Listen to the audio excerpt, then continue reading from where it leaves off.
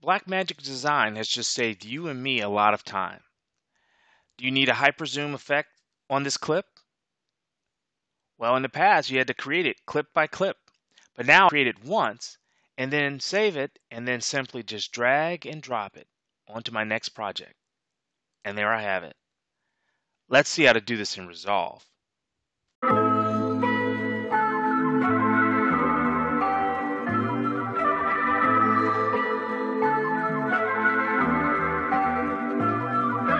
So Blackmagic Design has really done it with version 16 of DaVinci Resolve.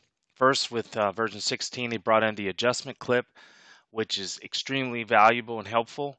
And now with version 16.1, which is currently in beta, they give you the ability to copy those adjustment clips in between projects or to store it somewhere where it can be accessed across multiple projects. So I'm going to show you how to do that. The first thing you want to do is go into View, and select show power bins. It's not on by default. Um, and in here, you can come in and right click and add a bin. So I've already got one called EFX. So what I want to do now is save an adjustment layer for a couple of effects. So this one's just a dynamic zoom, dolly zoom, where the background is actually coming in while the foreground is backing out, okay?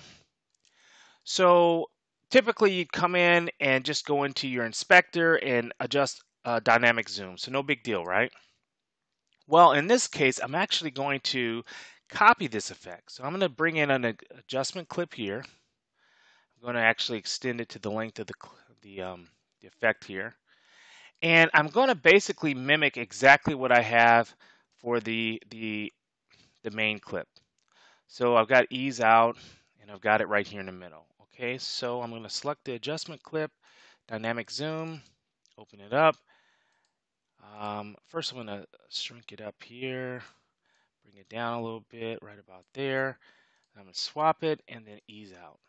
All right, so that's uh, basically the effect that we have here, very close. So how can I verify that it's in fact working? I'm going to select the main clip. I'm just going to turn off dynamic zoom and I'm going to turn this off. And then when I scroll through that, you can see that the effect is just like it did it looked before. Okay? So now what I'm going to do is I'm going to drag this over to my EFX power bin. And then I'm going to come in here and rename it. So I'm going to double click there. I'm going to call it D zoom uh, background out. Actually, this is background in, okay?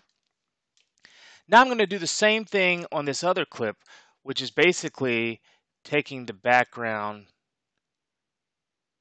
and pushing it out as the foreground uh, gets closer.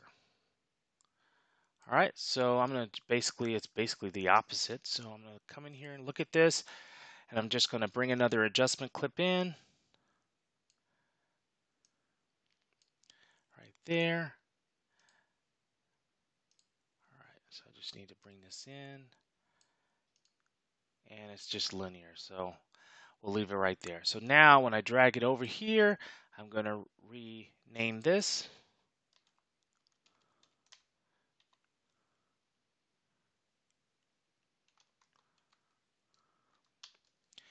Okay, so let's say I'm going to create a new project. All right, I'm just going to call it test one. So now let's go in and get some media. I'm going to come in here.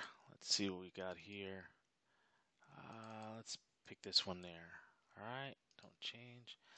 All right, so now what I'm going to do is I'm just going to take a portion of this, this clip, drag it to my timeline. Now I want to go into my bin. So I'm going to take the dynamic zoom background in. I'm going to drag it here. I'm going to expand this. Now let's see what it does. Okay, so that's the effect just like we saw uh, before. So it's that easy. That's all you have to do. Now, what I really like about this is now I can go back to all of my old uh, videos and basically save all the effects as adjustment layers into my power bin. So here's a good example of that. I had the, uh, the hyper zoom um, going through the streets of uh, Puerto Rico where there's that um, that zoom blur.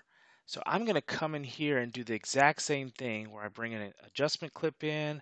I'm just going to make it short just enough so that I can uh, line it up with this clip here. I'm going to go into color. And here's the main clip here. Here's my adjustment clip. I'm just going to middle click to copy it, all the properties. And then I'm just going to delete these first two nodes, which actually are not related to um, the effect at all. And there I have it. I have the effect with the with the power window masking out the center portion and then I've got the zoom blur uh, on the outside. And all I have to do now is go back to edit. I'm going to save this or I'm going to copy this over here to the power bin, drag it over here. Now I'm going to rename this as hyper zoom blur.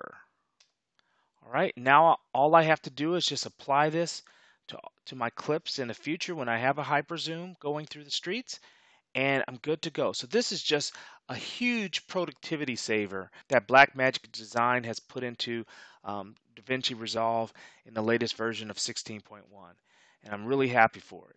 So if you've got any questions, uh, leave those in the comments below. Otherwise, please like and subscribe and I'll see you in the next tutorial. Peace.